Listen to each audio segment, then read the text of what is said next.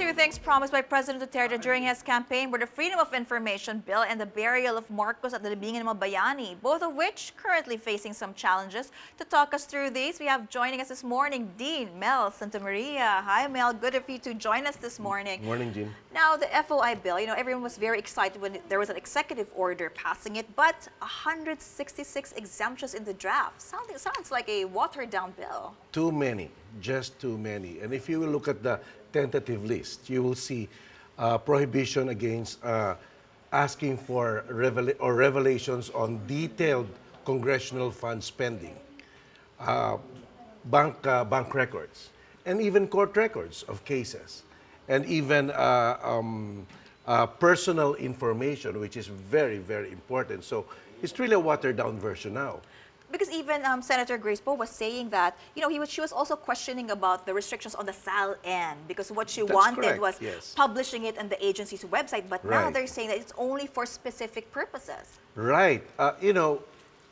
the key, the key on this freedom of information in, in, is in the very first word, freedom. So the default mode must be if, if a citizen asks for the personal information of a government employee, the default mode must be it should be given. It should be given. And only a court order could restrict that individual from getting it. If you recall the freedom of travel and freedom of abode in the Constitution, there are only three limitations national security, public safety, and public health. And the restrictions are interpreted narrowly. Very narrowly and only upon court order. But this one, 166, that's super watered downing of, of this. Uh, What's going on FOI. here, Mel? I mean, the President Duterte was very adamant about freedom of information, and yet we see this happening because the essence is full public disclosure, but with 166 exemptions. What do you think is going on? Well, maybe because of interest. You, you, you, you, you- talk about conflict of interest all the time. You have private and public uh, functions merging, and uh, it's superseded by your private interest. And then there you are. You insert so many exceptions just to, you know, protect, protect yourselves. What should be done is to come up with a law saying that revelation should be given outright except, except if prohibited by a court order. Simply that way, and you'll go a long way. And one interesting that I also that that also um, caused me to raise my eyebrows. So it included exemptions on law enforcement matters relating to apprehension, prosecution, and detention of criminals and investigations. That doesn't sound like a usual exemption that we would see. That is correct because, as you know, a criminal act is a public crime and it's a public, it has a very social aspect. That's why in a criminal case, it's people of the Philippines versus Juan de la Cruz. It's like a crime against the nation. That is correct. That is the, that is a theory there. So why should you not reveal it? Why should you make prohibitions there, especially if the crimes are, for example, plunder, uh, graft, or cor- uh, graft and corruption? That should be open to the public. So really, it's it's such a watered down thing. And and uh, Secretary Andanar said it's just a tentative list. right. It's just a draft. It's just a draft. Probably they will still cut, cut the list, and uh, maybe they will, uh, in a way, come to their senses. And you know, instead of coming up with a freedom of information, they'll come up with a you know, what? A freedom of uh, freedom of curtailment or something like that. It's just the opposite. So do you think the chances of a bill passing through Congress would have a better chance? Oh, definitely.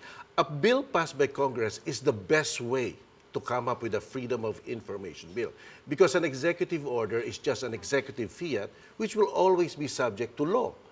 And people can just say, or government people can just say, you know, I'm, my hands are tied by this, you know, by this bank secrecy law or by this BIR law, uh, disallowing revelation of my income tax. So, you know, all excuses can be made if the law is not amended. The hearing on the FOI bill will happen on September 1, but prior to that, tomorrow, the hearing, oral arguments on the petitions against the burial of um, former President Marcos Libingan ng Bayani will happen. So this is, you know, hardly the Supreme Court will meddle into policy, but this time it has become a legal issue. What's the main contention? Well, it, it's, it's really a legal issue because, as you know, uh, President Ferdinand Marcos is a, is a different president.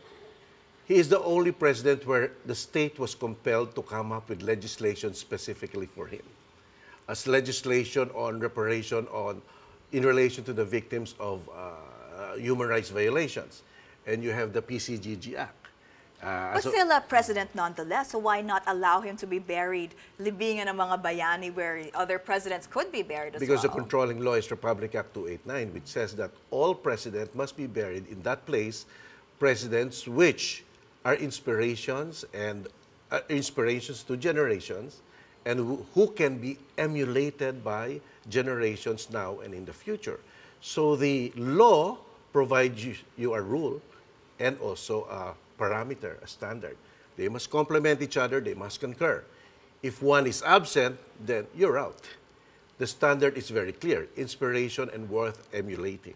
But Mel, what's the difference? They say that it can't change history, whether he's buried there or not. It's not going to change anything from the past. Yeah, that's correct. But but that's. It's not only it's not only uh, forgetting a, a bygone era of the Marcos eh, uh, period. It's trying to learn a lesson from history also. A lesson. That's the, one of the darkest moments in Philippine history, the martial law period. That's why, by way of public policy, Republic Act 10368 said it's a public policy of the state to recognize the extrajudicial killing, the summary execution, the torture, the gross violation of human rights perpetuated during the Marcos regime.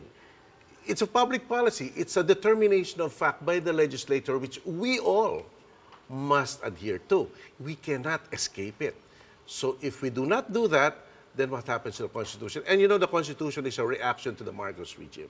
It's a product of the Marcos regime. If, and if you, if, you, if you bear him at the libingan of the bayan, it is as if you're mocking the Constitution. And considering that the government has also, the Supreme Court has invited officials from the Commission on Human Rights as well to come to the oral arguments tomorrow, we will definitely be hearing that side of the arguments. Thank you very much, That's Mel, right. for being with us this morning.